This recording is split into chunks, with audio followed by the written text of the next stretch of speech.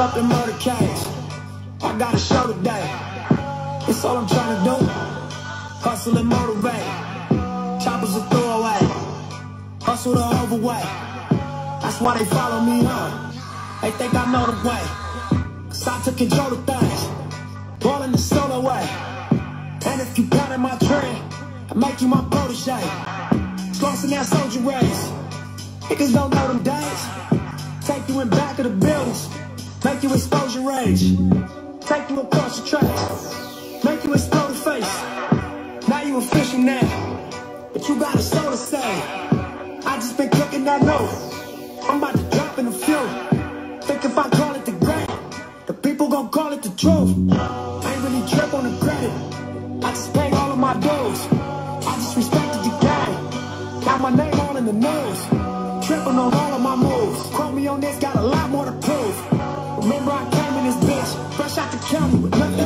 to lose. No, when I'm proud you, but I don't do this shit for nothing. No, no, no, not at all. You, my mama. Hey, hey, what's up, my good people? Welcome to Good Music Monday. I'm Marcus Watson, here to bring y'all some good vibes for a little bit, pay homage to some good people doing good things in this good world that we're living in. I uh, hope everyone's doing well out there. You know, uh, hope you all had a great weekend. I had a great weekend. We had some great fights on uh, on PBC on Showtime this past weekend live in Carson, California. Uh, congratulations to all the contest- contestants that were able to go in there and uh, come out healthy and, and, go home to their families and also earn some more uh, money to provide for their family. Uh, but major congratulations to Brandon Figueroa with a nice knockout. Uh, well, nice, yeah, knockout in, in the seventh round, and shout out to Luis Nery too. Um, yeah, so we got a few a few little quick hits. Um, congratulations to my brother from another, David Levy and Brittany Levy. They just got married on Saturday. They uh, so shout out to the to the newlyweds. You know, congratulations and um, yeah, we uh, what else we got? Oh, one more thing about the boxing too. I want to say, good people. Uh, I love ESPN. I watch it. You know, Sports Center is amazing. I'm going to continue to watch it, but I think that they should they should show all boxing. You know, if you guys think the same thing, go ahead and drop a, thumbs up or something like that. But uh, yeah, so yeah, you know, I bring the good vibes every week. Um, and today, you know, we always have a special guest. Today's guest is uh, to me, you know, like a, living legend himself. Basically, you know, he's been he's been in uh, quite a few films, uh, behind the scenes on on films, and also, you know, you know, his whole family's talented, but he's just also just a solid guy. Like I say, he's a he's one of the, one of the greatest actors in our time, and a comedian, uh, social social media, um, you know, guru basically, and um, he's a businessman, a great father, and uh, just all around solid brother from another. Let's waste no more time. Let's welcome Mr. Nick Turturro. What's up, boss? How you feeling, man? I'm I'm feeling all right. The the Yankees are losing right now, so I kind of put me in a bad mood. It's all right. Don't don't let it take you down too much, man. It does. Uh, it's it's my uh, it's my passion. You know, I mean, I love all sports, but I'm a baseball junkie, and uh, when the Yankees are winning, I'm better. When they're losing, I get pissed off. But I'll be all right. I'll survive. It's a That's long right. season. There you go. I was gonna say it's a long season. You know yeah. that, Nick. It's a it's a marathon. You know, baseball. A lot like life. It's a marathon. Uh, Absolutely. It, it'll drive you insane. I mean, you know, it's because it's so tedious, you know, and it's so moment to moment, you know, and yeah. it's just it, it, you have to stay with it to understand. Some people find it boring, but it, it's really a beautiful game. It just it's just filled with ups and downs constantly. Absolutely, I agree 100%. You couldn't have said it better. Um, I'm a I'm an avid, you know, a big baseball fan as well. Uh, Brand, I don't know if you know, but my brother Brandon actually played in the major leagues with the Washington Nationals. You know, a little while ago, back in 2006, you know, around that time. Oh, really? I didn't know that. Yeah. yeah he actually went up to the show. He actually got. Yeah. He made wow. it to the show, and his his, uh, his, his major league debut was at in, in Houston at Minute Maid uh, Park out there in Houston against the Astros. He went two for five with a double and a home run. In his, oh wow, beautiful! Debut. What was his full name? Brandon Watson. Just Brandon Watson. Brandon Watson. Yes, what, sir. What position did he play? Outfield, center field, left field. You know, but outfield, center field mostly. Man, just to get to that point is You know how talented you have to be, but then to stick around is a whole other deal. Because there's a lot of guys that can make it to the show, but they can't for whatever reason. You know Stick. what yeah. what separates these guys from double A, triple A to the big leagues. There's something that just separates them. You know, it's crazy. No, I agree. I agree 100%. Nick, I want to say thank you, brother, for taking the time out of your busy day, man, and and and you know, giving the good people in here um, some good energy for a little bit. Uh, every once in a while, I will be shouting out the good people in here too. But thank you just for everything that you've done for us all as a people and motivate us, man. We appreciate Oh. you, Nick. My pleasure, man. My pleasure. Glad to be a part of it. You guys are good dudes. You, your brother, your father. You've always been nice to me and my son. So, you know, whatever you want, fire away. Go ahead. That's right. Well, let's let's shoot it, man. Let's get a little bit of insight on you, bro. Like, so I got you were born. You were born in in uh, Brooklyn, New York. Were you raised out there as well? No, I was raised in Queens. Okay. I was I was only born like in a Brooklyn hospital, but I was really raised in Queens. You know, my brother likes to say we're uh, from the Lower East Side. but It's a bunch of bullshit. Uh, and we, we, they actually, my brothers, they grew up in Hollis, Queens, and then when I was born, they moved to Rosedale, Queens, which is like the end of Queens, the beginning of Long Island, right by JFK Airport. You know, when the planes they would come right over my house. Right. But I grew up in a small town right there. That's a good deal. That's a good deal. Uh, Queens, huh? So that's um. Did you ever see Hakeem out there from uh I from mean- uh coming to America? I saw a few, few people. There's a lot of rappers that came from like uh, Nah. uh, Queens Village, LL Cool J, and all these guys, Dougie Fresh. Yeah. Um, there was a lot of rappers that came, and then you know we had some mafia guys too. John Gotti from uh, Ozone Park, Howard Beach. I Uh. I, I love Queens. Queens is, I'm not gonna say the forgotten borough, but you know, like Manhattan, of course, is Manhattan, but then Brooklyn always gets like, you know, Brooklyn. But Queens, I think sometimes people forget.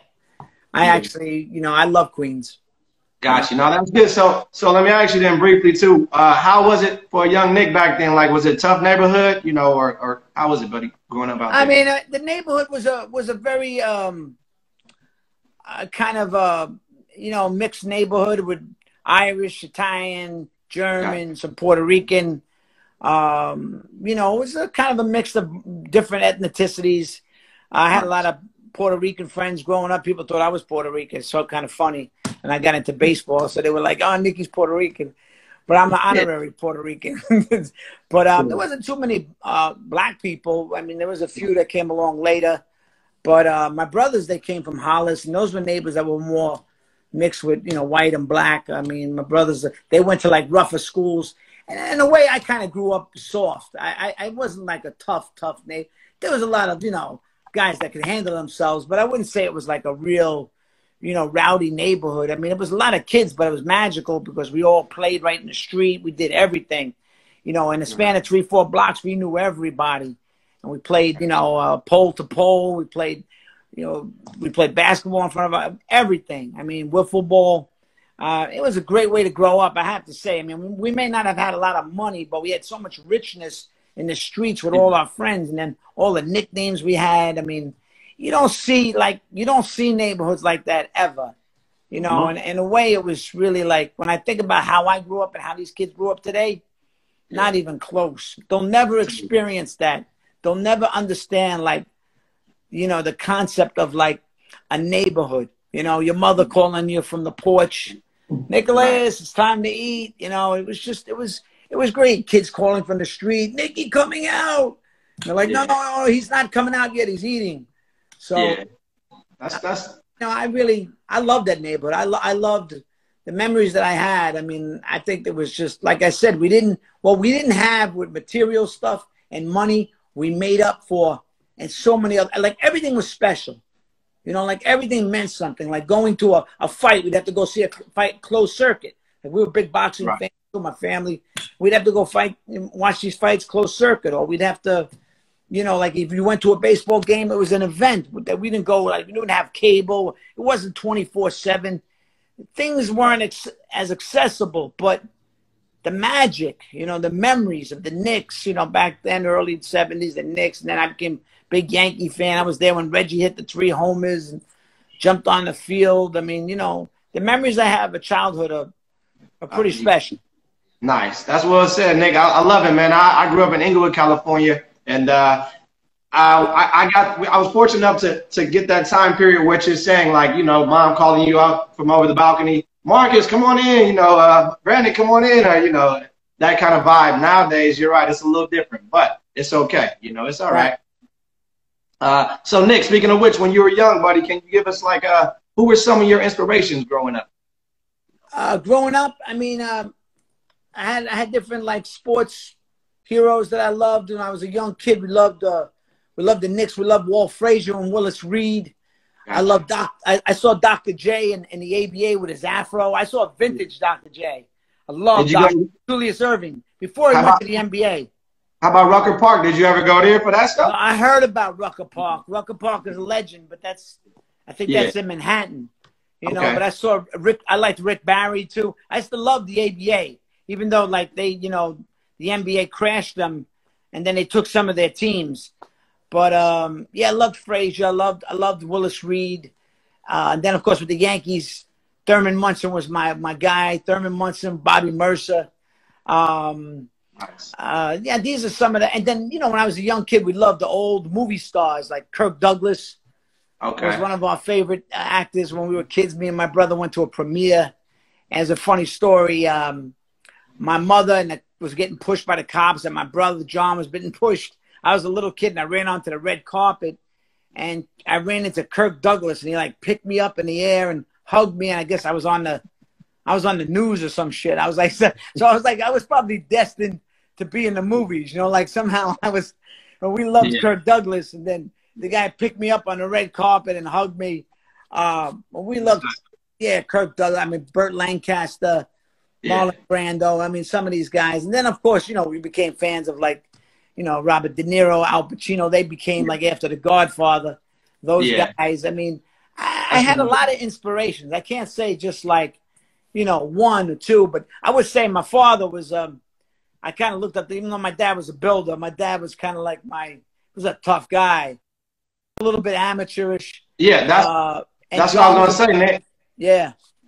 What'd you say? No, that's what I was gonna, I was gonna say. Like, uh, I'm sure out of all those got all those inspirations, your your parents probably were like your biggest inspiration. Oh yeah, yeah, yeah. I mean, yeah. you know, my dad and my mom. My mom was really like ahead of her time.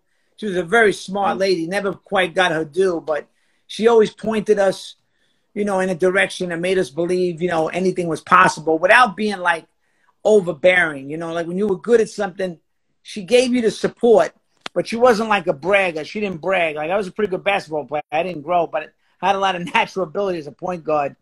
That's but right.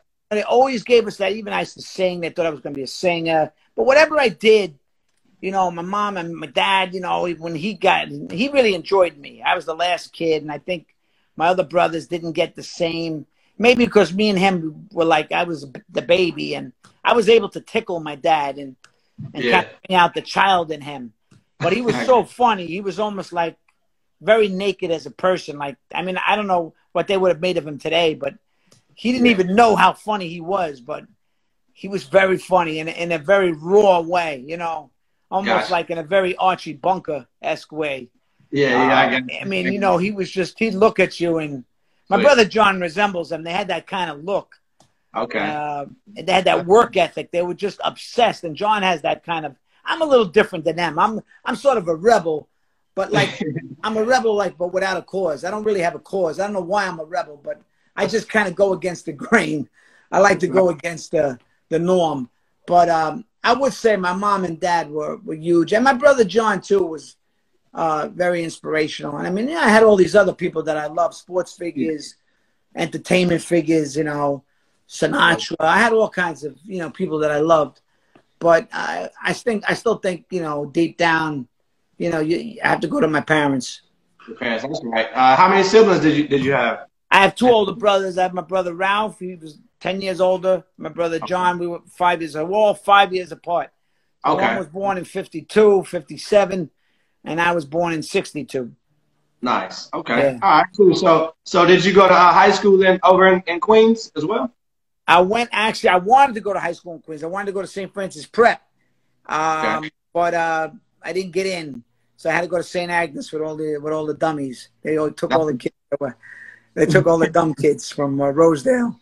Um, it wasn't a bad high school. It was in Rockville Centre, so it was in Long Island, which I didn't Okay. want to go to school in Long Island. I was always like, ah, Long Island is a little, it's a little Yeah. too soft or whatever. But that was a good, it was a good experience. I mean, uh, cool. I only did a couple of years of college. I didn't finish, and then I became a doorman uh, in New York City at a hotel.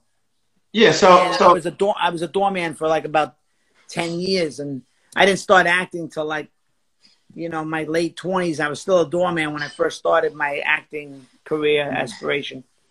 nice. No, I, saw- I saw that. So and you worked. Uh, I heard Billy Joel. Billy Joel. He he stayed in the uh, in the Yeah. building that you worked at. Yeah, yeah. you- And you- He was, Did you uh, meet him? He was a guest that moved in, and he wrote an album there, and I was. I was like a huge fan, Billy Joel fan. So like when the guy first moved in, I was like, wow, I better not like act like some star crazed idiot. And so I just try to treat him like a, I treat him like a regular guy. He was from Long Island, and when we became friends, we kind of hit it off. And It was funny. He started. That's when he first started dating Christie Brinkley, and he was dating this other chick, Ellie Macpherson. He was asking me like, you know, Nick, what do you think? Like, which one? You know, and I was like, I, I said, you know, Billy. I mean, give you can't lose either one. You know. So it was funny. I had this whole relationship with Billy Joel, and then I heard he came out with a book recently. Actually, mentioned me. I guess he was a struggling young actor. You know, I'm sure he has seen some of the things that probably has gotten a kick out of. I haven't seen him in years, but it would be great to see him because we had such a magical time there at the St. Moritz on the Park. It was kind of a old famous uh, hotel back in the day. A lot of Judy Garland, a lot of people. Mickey Mantle stayed there. It, it had a lot of uh, history. Uh, the St. Moritz. It's now a Ritz Carlton, but uh, it was kind of weird. You know, you're, all of a sudden you're idol, and now you're his doorman and one of your idols. And then we we were friends. You know, he'd come out, hey Nick, I was like, hey Billy, what's up? You know, Yeah. so um, it was That's weird because we were both, you know, basically kids from Queens, Long Island. So Right. um, you know, I saw all these stars, and that was before I was in the public eye, and so I was like Yeah. on both sides. And it was funny when I went back there as a successful actor. It was just kind of weird. It was kind of weird, you know. It was Yeah. like, oh man, Nick made it or whatever. But I always, I always remembered where I came from. I never, and that was a big part of my life. And I used to stop a lot of people um, in the streets sometimes because I remember when I was on NYPD Blue. Uh, this guy Dennis Franz, one of the stars, asked me, "Goes, were you ever a doorman?" Uh, his friend Joe Mantegna, famous actor from Chicago, goes, "He swears that you stopped him, and you, you were a doorman." I said, "Yeah, yeah." I said, "I was, I was a doorman." You know, so I, I mean, you know, I had a couple of pilot deals based on this doorman stuff, and we didn't quite get it to uh, a series, but I still think it could be a very, very funny, a funny show. We're developing something now, me and my son, a little different than that, but. I Nice. couldn't, play- I couldn't play myself now. I'd have to play like if I did the doorman show. I'd have to get all these young guys because me and my crew we were all a bunch of crazy young guys. But I could play like the older guy, like a bellman that has been working there for thirty years or whatever. You know, right. I mean, we never got it made. I mean, I shot something and but I had so many stories. It was like a revolving door because it was like, you know, I I dealt with the rich, the famous, the all kinds of people. So it was Right. kind of interesting. I mean, I had this, you know, uniform, the hat, and I kind of like it, it was like a show. I was almost like it was like a show within a show. Um, even when I was working there, I was like kind of working on my. People were like, ah, he's he's this guy's a performer. This guy's gonna, you know, it was weird. I was always like, I always knew I wanted to do something, something more creative than that job. But even though I had a lot of fun doing it, That's sweet. No, that's good stuff. Well said, Nick. I love it, man. Obviously, your, your energy is, is natural and raw and real, anyways, brother. So I understand when you say, you know, you, you Yeah. think you stand out, you're a little different or whatnot. You are different in, in a great way, you know. So, thank uh, you, thank you. so Thank you. it makes sense to to uh, it, it makes sense that you are where you are in life, man. You know. Uh, Yeah, yeah. I mean, you you you have to be because you know, I mean, it's people do see through it. Yeah. You know, Yeah. So So I've come across all kinds of people, and some people, you know, you you could tell they got all kinds of, you know, You know, uh, all kinds of things up. You know, it's just hard to to, un- to with me. It's like what you see is what you get. I mean, I, I I don't have any, I don't have any fake. Uh, you yeah. know, it, it is what it is with me. You know, I'm I'm either really up or I'm really down or whatever. I mean, Yeah. or I go wild, whatever. But it's it's it's emotional, but it's also passionate. And It's not like I'm not a put on. You know, a lot of people just they put it on, you know, they put on an act. And then when you get to know the guy, you're like, well, I know the real guy. Right. You know, right. I know the real guy. You know, I'm not saying, hey, I'm not perfect by any means, but but I try to be true to at least, you know, I've I've I've I've been up to the mountain and back. I've had the highs and lows. I've seen it. So, That's you right. know, I, I know. I feel like, you know, I've you know, I've experienced a lot in my life. I mean, more than I probably ever imagined. You know, Yeah. probably more than I ever imagined. Even though I always had like a big imagination, I think I always kind of had, you know, I had kind of big dreams or whatever. You know, I Yeah. mean, I mean, but then to to live some of them out was great. You know, I mean, to live them out, it's one thing thinking about it; it's another thing doing it. Absolutely. And and and I know what that feels like too. You know, there's a lot of people that will say like, "How could you do this?" or "How could you do that?" Like, well, you know, there's a way. There's a, I'm telling you, there's always a way if you if you're committed. You know. Yeah. Yeah, just just keep going. That's right. I love it. That's perfectly put. So what was your uh do you remember your first gig that you got paid for like acting wise? Yeah, my first um, real gig uh, was was um, was actually I had a little paying gig with my brother in this movie Men of Respect, and then Okay. first like real gig was with Spike Lee, Mo Better Blues. I uh, I had met Spike as like an extra on Do the Right Thing. My brother was in it, and I went down one night as an extra, and then I I was supposed to go go back the following week, and I never did. Apparently, he liked me. I don't know what. I was just an extra, Got you. and then I got a phone call from him that fall out of the blue. I got my number from my brother.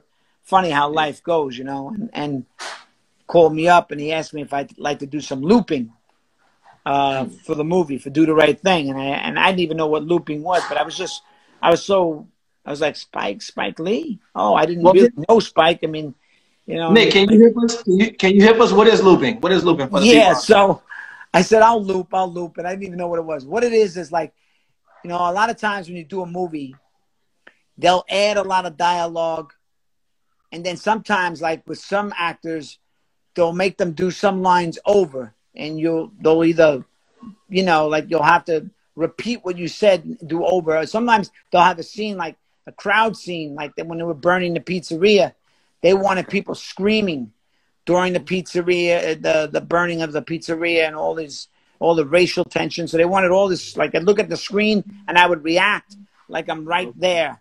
So I would, you know, Spike had me screaming all these racial epithets or whatever, and I was going, I was going off the dial, and he loved it, you know, Wow. because I understood all that stuff. You know, being from New York, I understood the whole, all those kind of things, you know, all that mentality.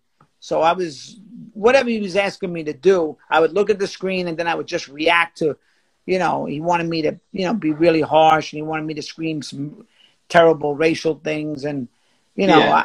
I, I, he just gave me freedom. So I just went, I went off the dial and he loved it, loved it. And then from that, he decided to put me in a movie and um, with my brother and we were playing two like Jewish guys and it was the first like it was I couldn't believe it that you know he was giving me this opportunity and I said wow I, be- I better make you know make the most of this and I really did I I kind of you know really worked hard and I was like man I just hope I can hope I don't suck you know I hope I can I can because there was a lot of good people in the movie Denzel Washington but I held my own I did pretty pretty damn good it was a great Wesley experience Snipes, right? Wesley Snipes was in there too, right? Wesley was in it. Yeah, a lot of people. Robin Harris. All Yeah. these people. I mean, I, I was just, uh, I was just so happy to have that opportunity. And then, you know, after it was over, I went back to my job, and and it kind of like, you know, it, it made me feel like, wow, maybe, maybe there's, maybe I have something here. And then, I, Spike really liked what I did, and then he gave me a bigger part in the next movie, Jungle Fever, and that was like more. I was starting to like really pursue it, get an agent, and then I was, um, I was, you know, really kind of really starting to hustle. And then after Jungle Fever, I really started to like get a lot of confidence, you know, and and then you know I got some other TV work. I started, I did uh, I did like a few little plays. I, um, I was just getting a lot, a lot of little things, you know. Like I was really starting to pursue it too, and I was kind of learning as I was going. You know, I was I had some training. I was a year in theater in college years ago, and I studied a little bit privately with this guy Bob Modica. But more or less, my stuff I was learning in the trenches, you know, on on you know on the job, and uh, and I was a quick learner. And everybody was saying, "Yeah, you take direction well," because um, there are a lot of people that don't take direction well. You know, there are a lot of people that, you know, they don't listen. You know, and I and I was I was kind of a sponge. Um, gotcha. And I, you know, but it was I was like, wow, this is way harder than I. But you know, I started I, I started getting a lot of confidence uh, after, uh, you know, especially after Jungle Fever. Uh, I started to get a lot. Of, then yeah, and then I, a couple of years later, I got a pilot, the comedy. I got a pilot CBS. It didn't become a series, but so I was, you know, like working my my way up. Um, and I was still a doorman, but I was working less and less. Yeah. And then the big break was when I got on this NYPD Blue, and I didn't know it was going to be a big, big show.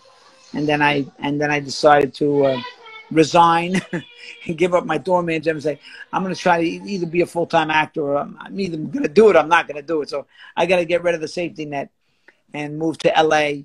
And, yeah. and then the rest is history. You know I mean? The rest is, you know, and then the show was a huge hit and I got yeah. nominated for an Emmy, all these things. And, um, you know, and it was, you know, the start of a new, a new thing, you know, moving from, I never thought I'd leave New York. I was 30 something years old. And, you know, and then um, then I fell in love and met my wife out out here, and then um, you know, a lot of things happened to me in the '90s. It was it was kind of a, Yankees started winning, a lot of great things. I was on a hit show. I mean, everything fell into place. I had my dream girl, you know. Yeah. Um, yeah. And then when I think about the '90s, those were the best years of my life. It's not that my life is over, but I would yeah. like to have like a rejuvenation of things. you know, life is mm-hmm. funny. It's like you want to like not reinvent reinvent yourself, but also, wow, you know what I mean. Get that kind of like that that that feeling back. You know, that hunger back. Like when you were first doing it, it was yeah. so it was so fresh. It was so new. You know, yeah. I remember like when we were doing Jungle Fever. I did this other movie, Federal Hill in Rhode Island. Everything just felt so new and fresh. And you know, when you're hungry, when yeah. you're hungry, it's it's a it's different. You know, you you just you do it for you do it for the love of it. You know, and you see that with people, even like successful yeah. people, even successful fighters. They they make too much money. They don't have that hunger no more. They yeah. don't have that same. You know, you know what I mean. You, you see it, yeah. and it's um, absolutely. It's, we, I was just talking about this with my brother and my father today. Just like literally earlier really? said.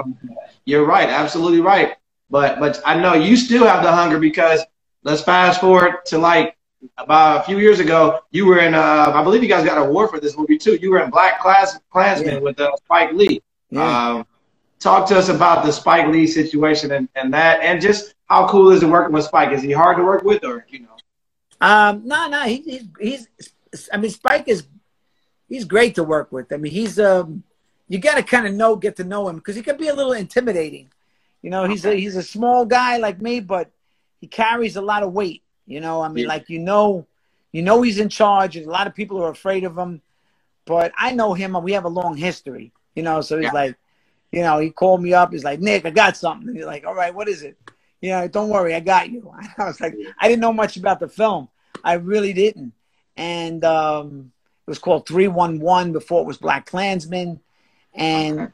and I, my character kind of came on later in the film and I didn't know that much about it going into it. And I think it was weird. Like I approached it that way. Like I didn't want to know, and it kind of my character comes out of nowhere. And I didn't even know, you know, because Spike hadn't had like a big hit in a while. So this was kind of his sort of yeah. comeback, you know, movie in a way. Um, yeah. It was a, and a really, really good movie. So, but I love working with him because we have a good rapport. Um, and he's, I mean, he lets you you know, years ago we used to improvise, come up with stuff.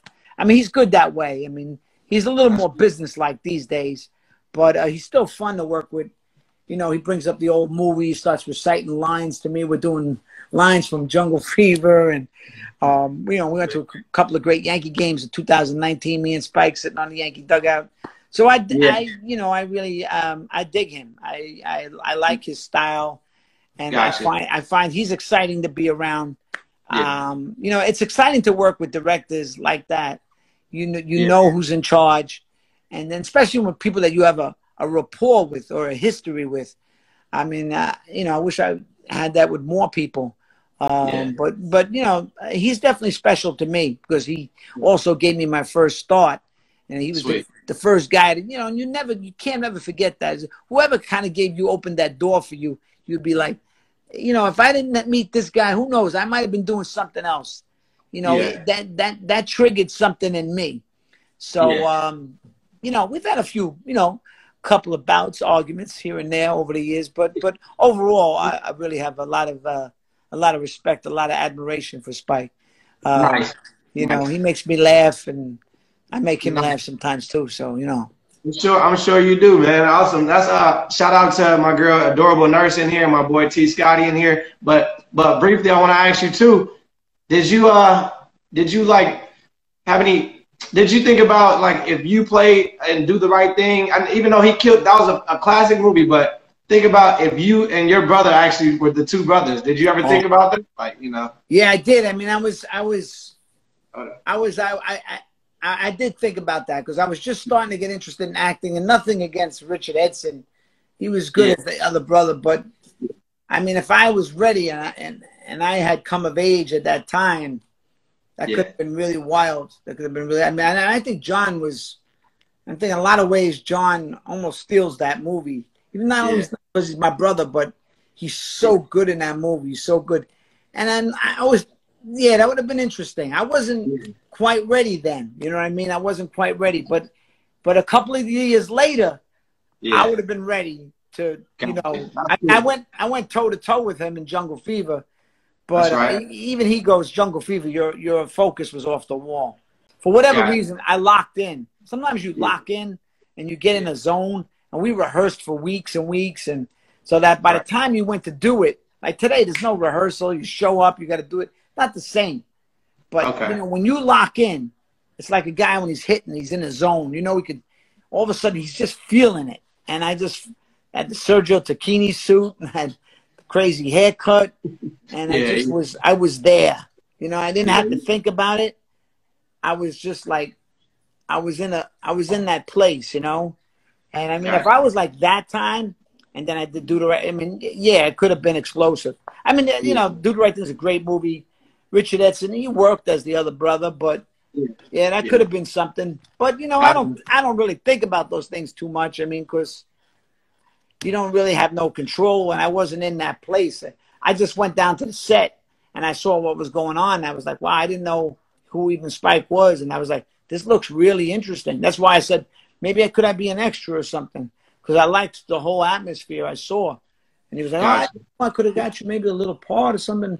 I was like, well, no, no, I just go down, you know. And it's funny how life, it's funny how life goes. Like, you know, you could go somewhere, do something, meet somebody, mm-hmm. and it, you don't know what that thing leads to. Like, you know, Right, right. never done this, if if I had missed that flight, I would have never met my wife on that flight, or or if I had never went down and was an extra, who knows? I might have not even pursued acting. I mean, who knows? That's So, true. What's up, Nick? Nick, I see you, brother. How you doing, man? Salute. Good, my man. Good to see you. Like one of- one of the best musicians. Speak well, shoot, while we got Nick right here too, Nick Jr. There. Let's let's do. Um, how do you feel about what's up, buddy? How do you, how, how do you feel about? Let me ask Pops. How do you feel about him pursue about him pursuing his music uh, career and just doing his thing? Like, how does that make you feel, Pop?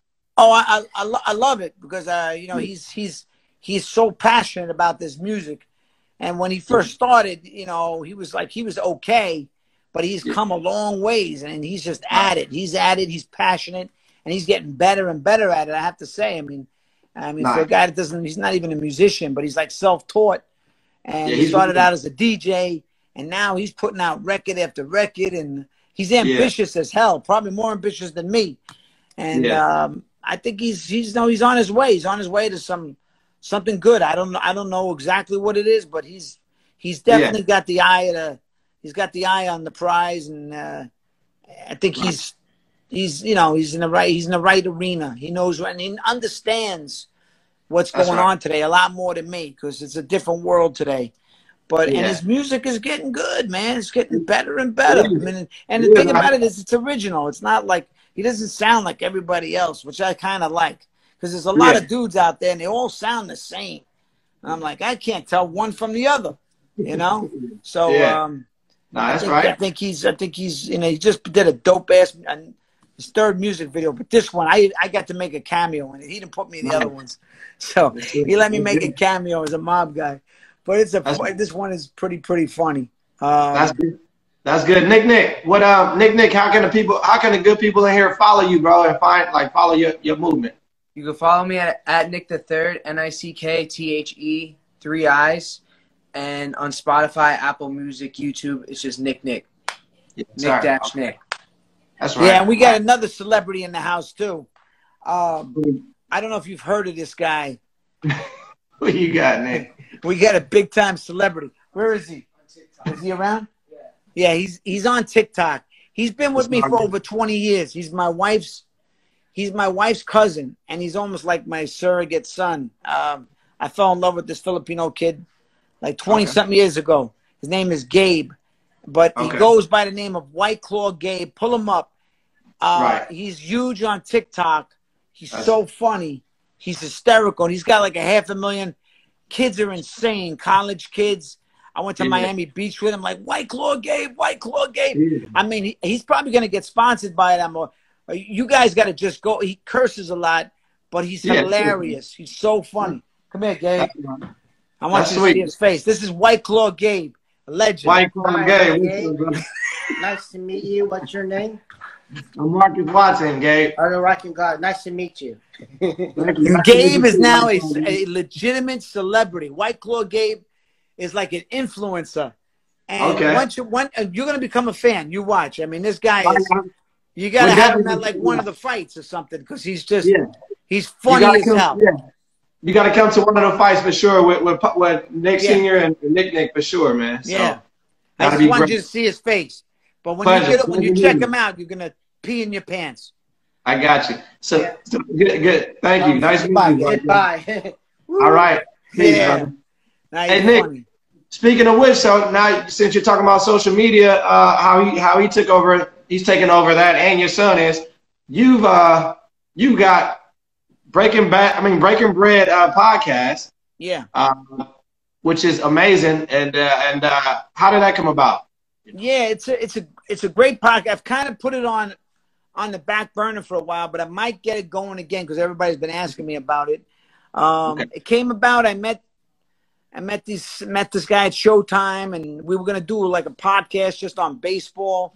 And then I thought baseball was too limiting, and then I kind of brought in my son and this company called Malka, M A L K A. I think they do now the Mike Tyson one, and they had done some stuff. They were kind of working with this guy at Showtime, and we never quite got on the air at Showtime, but um, it, it, it, it became a really good show. They shot it, they produced it, they um, but um, it got a little expensive, I guess, to make it. So they've given me the rights to it. So, but we had the quality of it was really good. You know, it was really Yeah. good. I had a lot of a lot of great guests. I mean, all Yeah. kinds of people, actors. I mean, comedians, some athletes. Um, and and I think it was a really, you know, it's a really good show. And I might I might just do it from home. Um, That's right. Because I kind of know how to do it now, you know. Um, And it just kind of came about um, because it was going to be like a a whole thing about me being a hardcore baseball fan and all this. And then I said, well, maybe I, I don't want to just limit myself to that, you know? Um, But no, it was Yeah. good. I, I enjoyed doing it and I might, I might do it again. I just didn't want, I didn't want to do it like, you know, half ass. I like the quality of that show. So if I do it again, I want to kind of do it with, you know, uh, similar quality, you know, but maybe it Yeah. might be even, might even be better now because, you know, I've had so much practice doing it.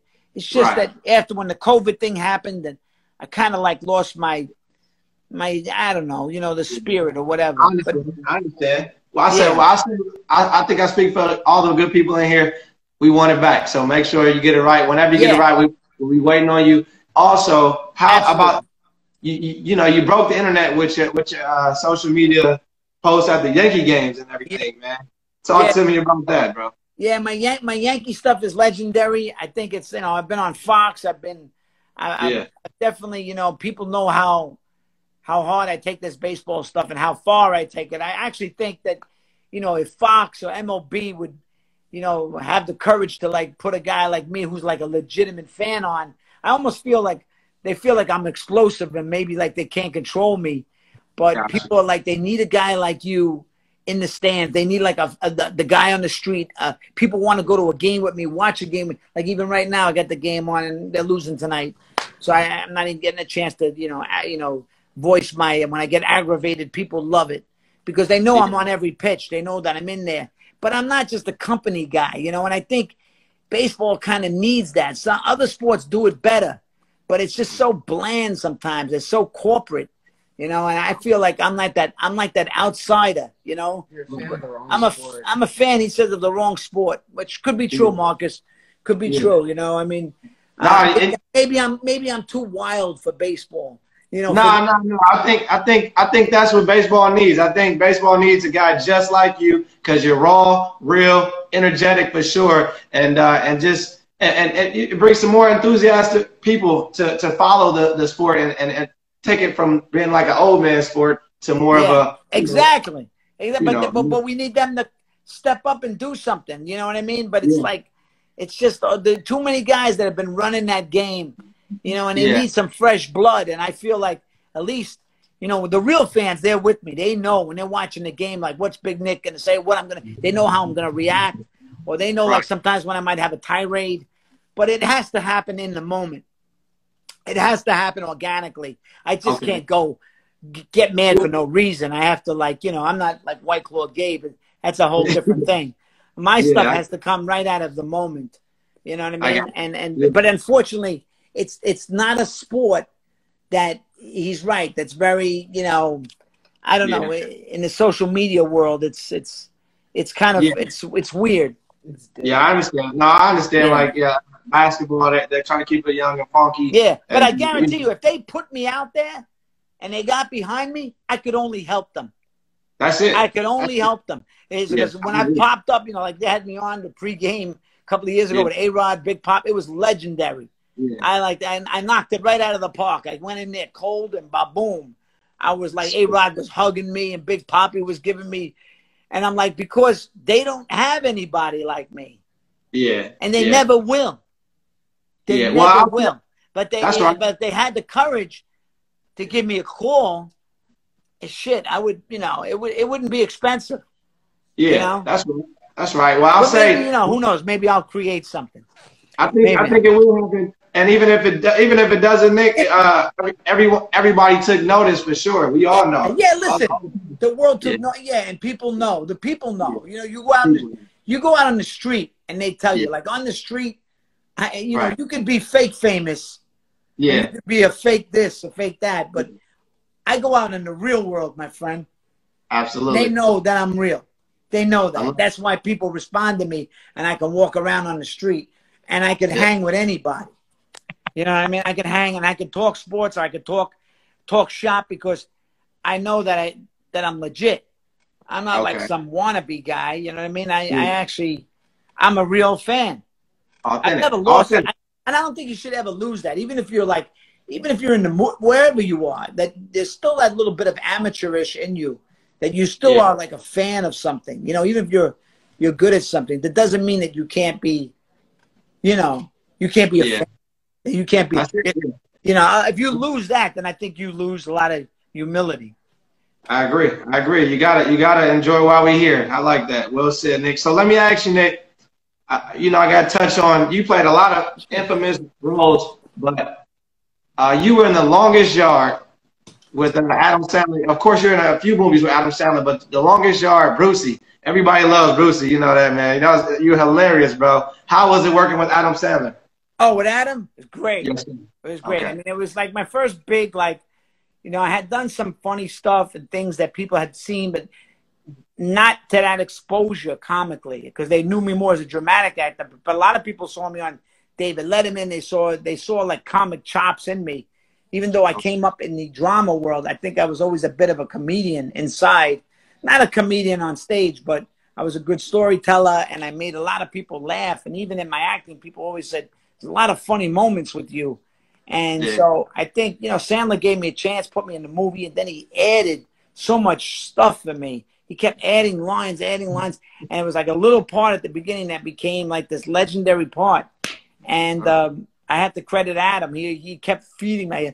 You know, I have to Toro say this, had him say that, and he Yeah. really. Um, I have to say, he really uh, he got behind me, and he, he was like, "You're funny, dude, man. You're really really funny," and it was a great experience. There was so much testosterone and uh, all kinds of people. I got my grandson here. You want to see my grandson? Yes, sir. Yeah. Come here, say hi. Beautiful. Beautiful. This guy, he's beautiful. Say hi, Santino. Hey, Say buddy. hi. yeah, swing. Show me a swing. Yeah, that's it. Is he 10 years old? Nick, is he 10 years old? Now he's like 16 months. He's a big guy. Look, look at him. Say hi, Santino. Say hi. he has that binky in his mouth. He has that Yeah. binky in his mouth. Uh, I love it. Yeah, Love. I love He's him. He's, he's uh, he's you know we're, we're like helping to raise him, and it's um, That's right. it's uh, it's like I'm a it's like I'm a dad again. I'm a grandpa, but it's like Yeah. you're a grandfather. I'm like yeah, I'm a grandfather. You know, I mean, you know. You- Um, Well, you heard the key word in there, father. You know, you're still a yeah, father. but get but get and get back to Adam. He, he's he's awesome, and Yeah. guy, he's nice to everybody. I mean, he has all his friends and he has a whole gang around him. Nice. Um, but um, I Yeah, that's really, cool. uh, a lot of fun. That was a lot of fun. I mean, there's all kinds of people in that movie, and Yeah. kids love Yeah. it and they love Brucey. So you know, I've, I've often thought about you know, what if we did like a spin-off with Brucey or whatever? Could be something. You know, it could be it could be funny as hell. Um, I think I think that'd be great. I think that'd be real good. Yeah, everybody will love that. You'd have to get the rights to use the character, but I think it could be it could be a hoot. Well. Adam, Adam Sandler, and, and all the good people over there at uh, you know, Happy Madison Films and whatnot. If you're watching this, make sure we you guys get the rights and you guys get behind it and you know collab with Nick and make the spinoff. Let's make it happen. Thank I you. like. It. Thank you, Yeah. Marcus. So Appreciate it. So Nick, let me take it back to um, this came from one of uh, uh, one of the good people in here. They asked a question. Tyrus Lindsay. He he asked, "How was um how was it? You were a a guest commentator, a guest announcer in, in WrestleMania 11. Yeah, early on. How was that, how was that experience? Oh, that was great. They was uh, they treated me wonderful. I did these commercials with all these wrestlers, and then was out in Connecticut. And Sweet. I actually announced this one big match with this guy Diesel, uh, Kevin Yeah. Nash, who was Kevin Nash who was one of the big funny guy in the longest yard, and um, it was great being around those people. I was young, and I was with Jenny McCarthy, and uh, who's the other blonde girl from the Baywatch. Uh, Yeah. It was a it was it was it was a, it was a riot. You know, all these things that I was getting when I was on the series. You know, they wanted me to do WrestleMania. Then they did these commercials for ESPN. Uh, with me and this guy playing Abe Lincoln, revitalizing baseball, and all these things that came about, like, you know, because I was on this show, and then you know, and then guest appearances on Letterman, and people, you know, I, people were always reaching out for me to do. I think they saw that I was that I had a lot of personality or whatever. They they saw that I had, even though on the show I was like a choir boy, just quiet. I Yeah. really didn't have like a I didn't have a wild my character was very like straight, but outside that character I was way more gregarious.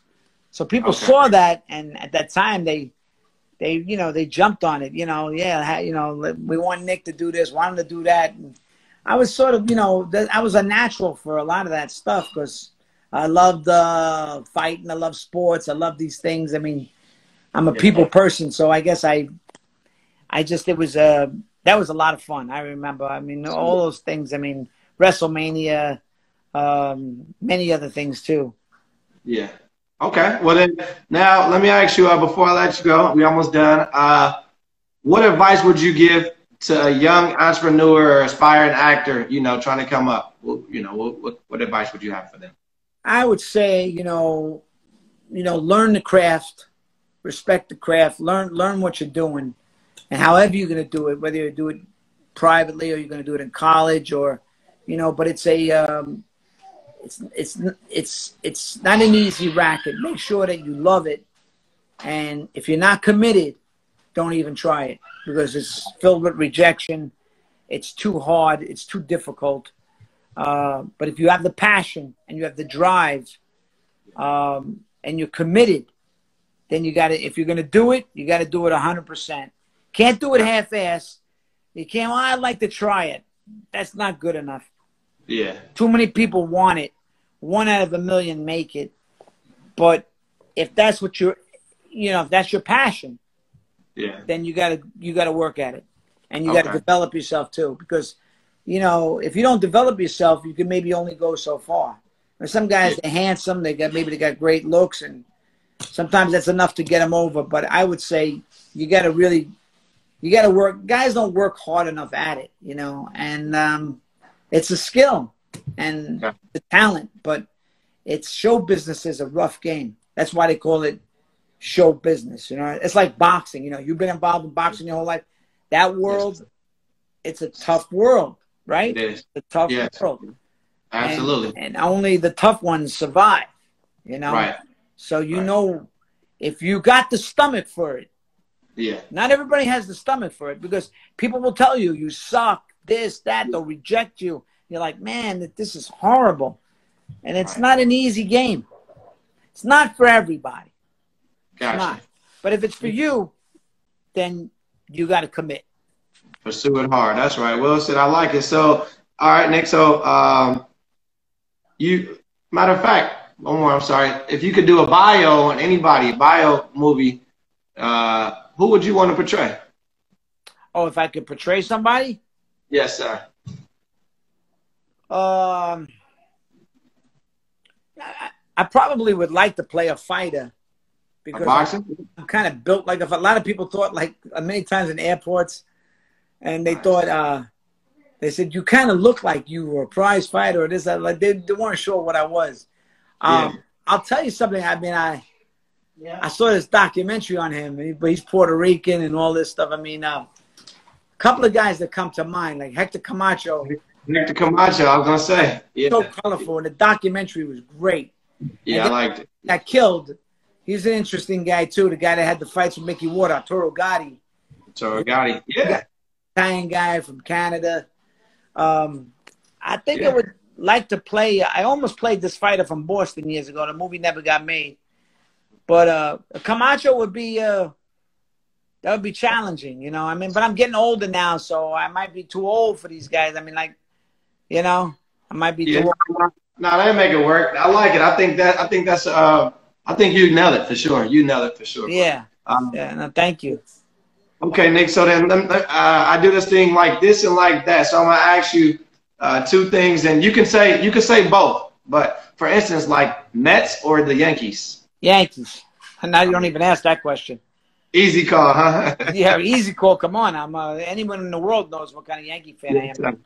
All right. So then Knicks or Nets. Knicks. Yeah. Okay.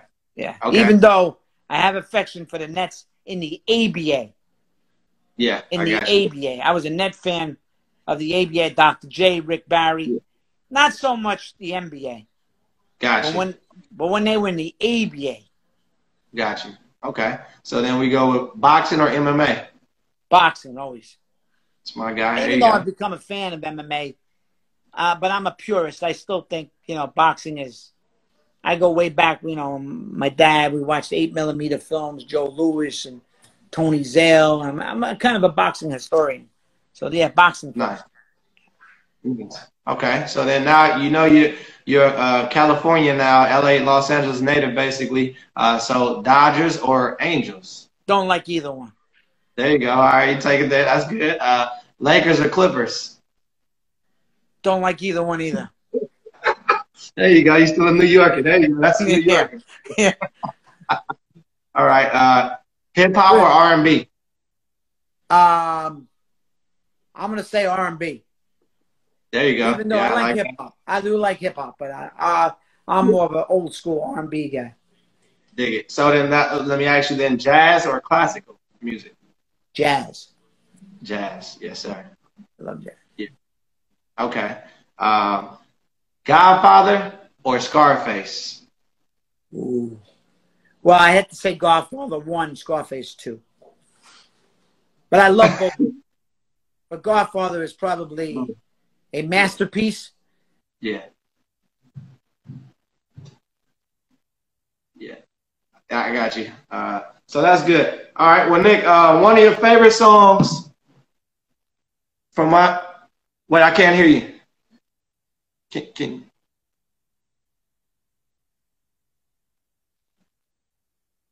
I can't hear you.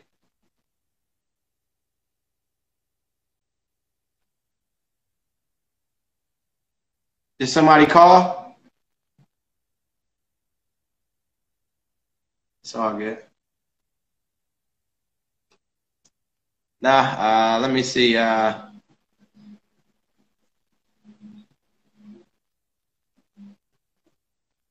um, well, it's okay. Can you hear me, Nick, or no? Um, no, okay. It's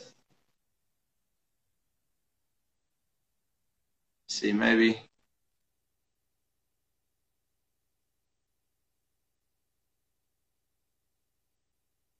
Nick, Nick, log out, log out, log out, and then come back in. Log out, and then come right back in. There we go. You know, it wouldn't be right if we didn't have any technical difficulties, and that's okay. But once again, we're here with the with the great, talented Nick Turturro. Uh, I am showing on the screen him and his brother, uh, John Turturro.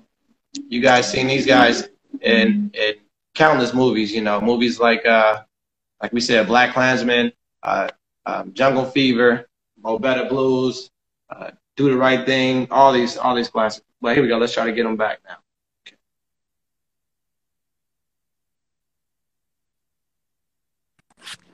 Well, here we are. Hey, buddy.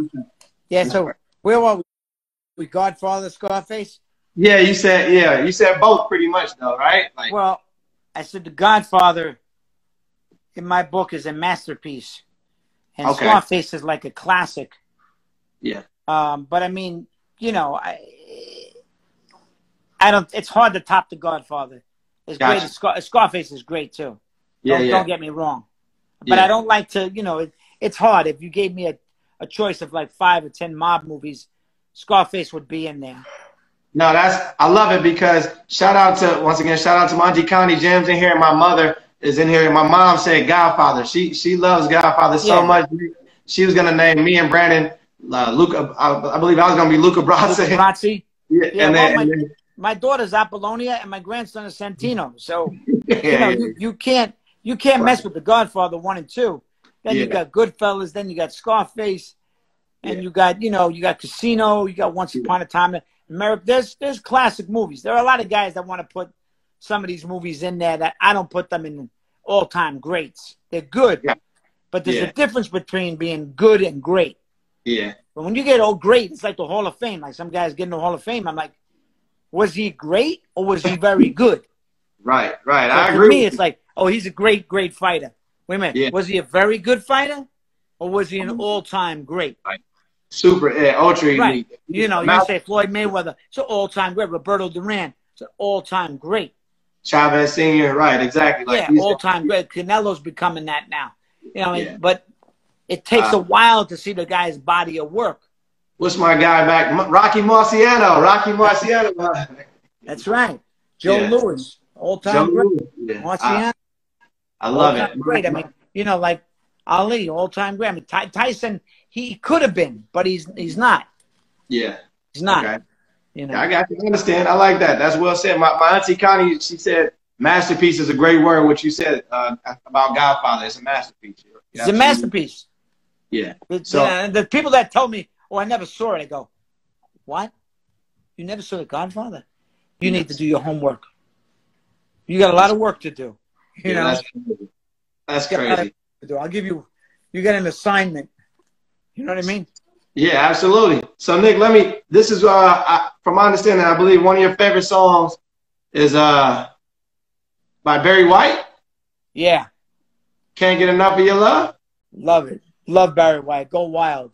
It just Go gives you. wild, It man. gives, it gives you a good vibe, basically. Oh yeah, I got my son into him now. Now he Okay. loves Barry White.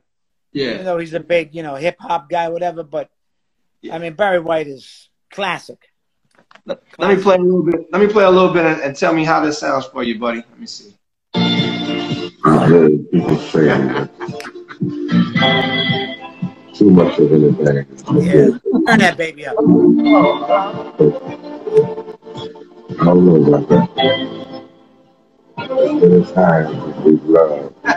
Made love. Shared love made love. Yeah. Oh yeah. It doesn't seem to me like it's enough. It's just not enough. Just not enough. Come on. It's just not enough. Just not enough. Oh yeah, Barry. Bring it home, baby. Oh yeah. For your love, baby. Come on. How could you not love this?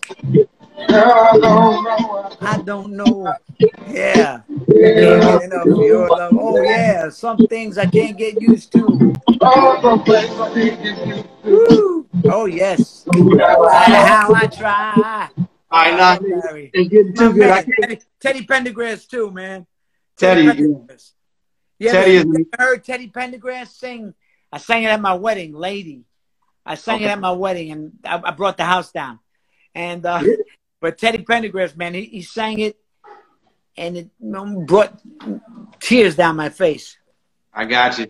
Nah, amazing. He's a legend. Um, Nick, one, I want, I gotta ask you one more. I'm sorry. A question about, um, uh, you, like I said, your, your brother is a talented John Turturro, and and, and your your cousin, your cousin is yeah, exactly, uh, talented. Have you have you guys worked on anything together?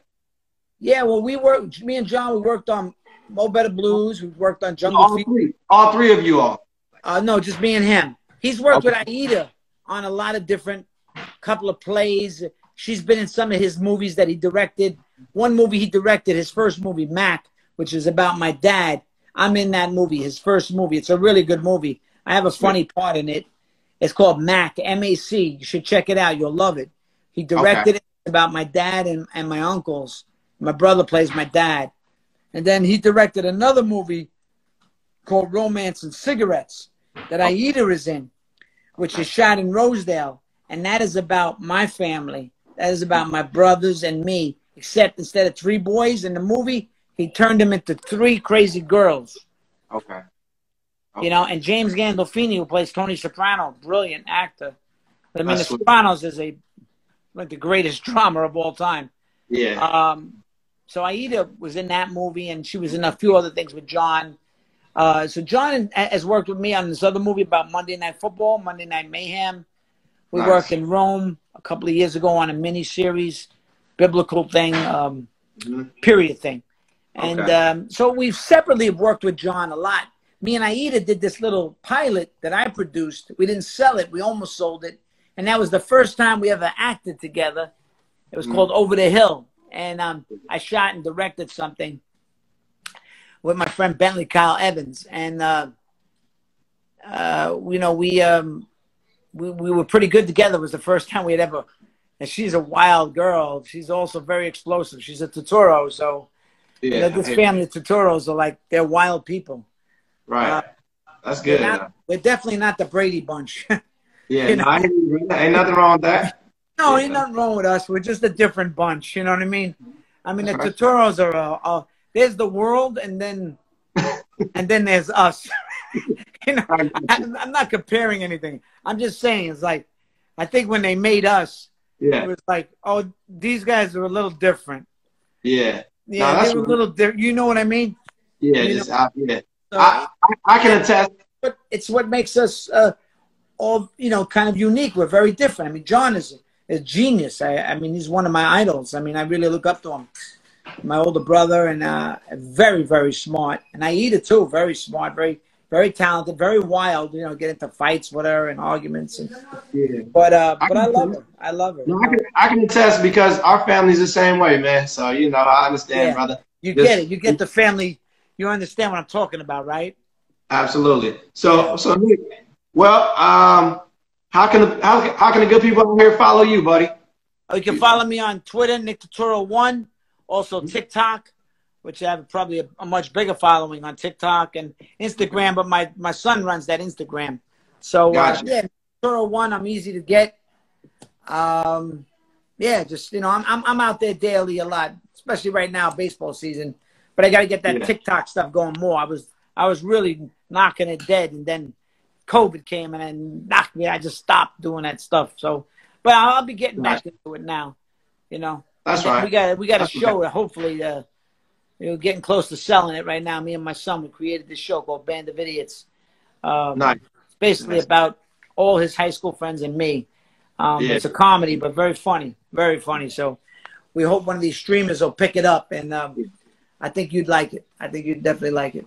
No, for sure, for sure. I love it. I love it actually because I love everything that you guys do, man. It's you know, it's, it's Thank it's- you.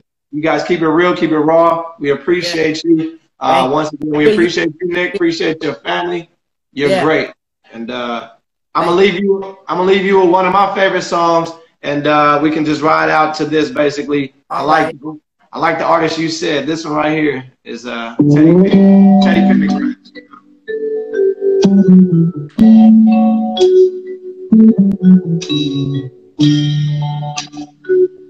Teddy.